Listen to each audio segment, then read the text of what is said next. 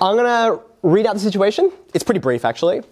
And then I'll reread it and we'll note down the important information together. So just pens down for a minute and just listen with your full attention. We're in a light bulb factory. Okay, we're in a light bulb factory. The probability of a light bulb being defective is 5%.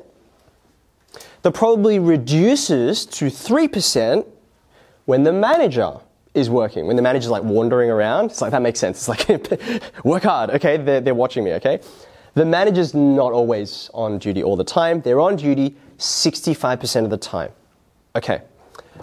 I'll read it again, and you stop me when you get a bit of information you want to write down, okay? The probability of a light bulb being defective is 5%. You should have stopped me. um, we've got the probability of, how would you write this?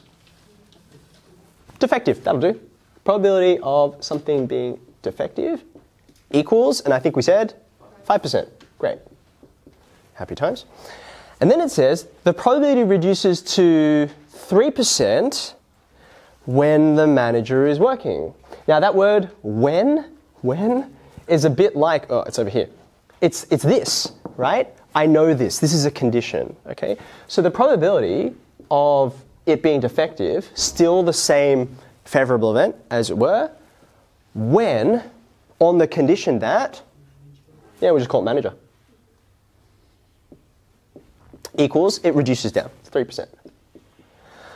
But the manager's not always there right? So I can say the probability of the manager being on duty, so we'll just call that probability of the manager. We said that was 65%. Okay. Now, I'm going to ask you to draw a tree diagram that represents this. We used a Venn diagram here. The reason why a Venn diagram is going to be less useful for us over here is because this is one of those situations we mentioned where you can't just count up the number of students there are. We have no idea how many light bulbs this factory is making, right? But we can deal with the probabilities.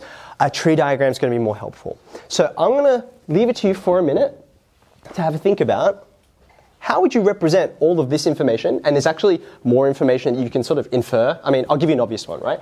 What's the probability that the thing is not defective? 95%. So there's more information you can work out pretty easily that's going to go onto this tree diagram. What's the probability of there not being a manager there? Have a think about how you draw the tree. There's more than one way to do it, but there are easier and harder ways. I'll give you a couple minutes. All right, are you ready for me to interrupt your thinking? Or interrupt your potential inability to think and like, I'm not sure what to do here, okay? Um, looking around the room, I saw a variety of different tree diagrams. Like I said, there's more than one way to do this, but there are ways that are more helpful and ways that are less helpful. Okay, so I've got here a tree diagram that represents the two stages that I'm thinking about, right? Now, the way that I knew to draw two stages was I can think of two different things that are happening and I can sort of separate them out, right? Now, whether you think about one as the first, one as the second, this is the part where it starts to get a bit trickier. So, which makes more sense to be the first thing? Can I get a suggestion? Yeah. I'm going to put manager as first. I don't have to, but it is a bit easier to think about. Um, I'm putting the manager here. We could say no manager, but we also have some notation. When you say the opposite of thing, we have a special word for that in probability. The opposite, it's the it again, the complement. So we can use this notation to indicate the complement, we just take whatever that thing is and then we put a bar over it. Yeah, put a line over it. There we go. So that means the complement of the manager being there, no manager. Okay?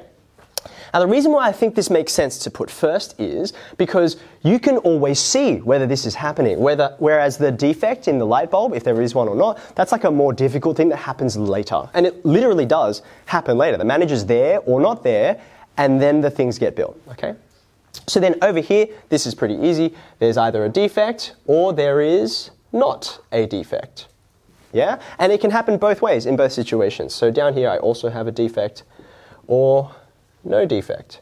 And of course, if you prefer, you're more than welcome to just write the names there. You could just say, oh, it's good, right? As long as you know what the, Venn what the tree diagram means, the language is more important in terms of clear communication. Okay, now let's take the information in the question and start to put it onto the tree what's the chance the manager, you can just read this off. 65. 65.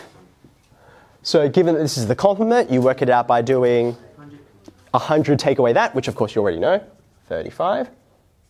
Happy times. And then coming over to this side, some of this information, like let's work out where the 5 and the 3 are. Where do they go on here? So up here, up here, so this is uh, the probability of a defect if the manager is there. So I'm on the top branch, so that's 3, which gives me what down here? 97. And then down here, when the manager's not around, this is the original situation, right? 5 and 95. Great. Okay, so come and have a look here here are some questions for us to tackle, right? And they're both sort of conditional. Have a think about it. If the manager's on duty, if the manager's on duty, that word if is another way that you can see a condition, right? So this is like the word when or on the condition that. So here's, here's us trying to decode the question, right? What's the probability of a defect? So some of you are like, wait a second, the question just told me, right? Like it already just stated this. That's absolutely right. We're going to confirm that in a second. But I just want us to see how, I want to prove how this before, which we can use, we're going to need to use in the next situation, they don't just tell us what the answer is, how this can help us, right? If I think about the probability of a defect, so I'll write it like this, given that there's a manager. I know that I already wrote this a second ago when I was writing the question, but think about how I would phrase it in terms of this, right? What's the probability of the denominator? Have a think. 65. It's 65, right? Because that's the probability of the manager being there. We already stated that. So this is just going to be 65%. That's the probability of B. Up the top here, I have the probability of A and B happening together. So that's 65% times 3%. This is that canceling thing that I mentioned before, right? You're like, oh, of course it's just 3%. It's like I forget that this whole thing even exists and this becomes my 100%. I'm just imagining this universe. This is my reduced sample space. You following? Okay, so it's just 3%.